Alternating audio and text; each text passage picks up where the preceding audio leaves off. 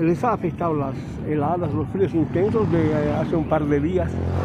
Eh, así es, eh, nos ha afectado en gran manera esto, las heladas a todo el sector eh, de la subcentral Río Salado y esto hoy por hoy nos afecta también para recuperar algo nosotros necesitamos la gasolina que es esto para, para regar, ¿no? Más que todo, para el riego y la fumigación.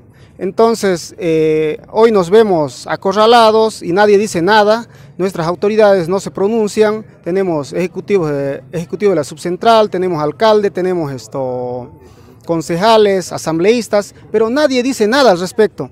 Hablamos de unas 150 hectáreas mínimamente, que más que todo es papa.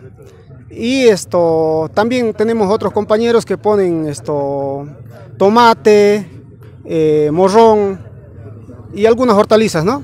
El 80% lo teníamos perdido después de las heladas, pero con un riego por lo menos íbamos a rescatar la semilla. Pero hoy por hoy no, no hay gasolina y hace que nosotros no lo podamos regar y eso tiene que, va a ser la pérdida del 100%. ¿Cuántos productores son los afectados?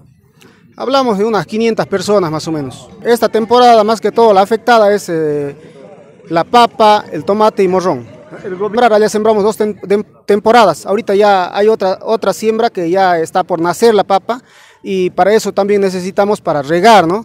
Para las motobombas, para las fumigadoras, hoy por hoy ya son con gasolina, son algo más tecnologizado y esto también nos afecta de gran manera la subida del dólar. ¿Por qué? Porque las motobombas, las, las, los motocultores, eh, todos esos, esos equipos, la, las fumigadoras, eh, suben, a acuerdo sube el dólar y hace de que sea más imposible que el, el campesino pueda adquirir esa, esa maquinaria.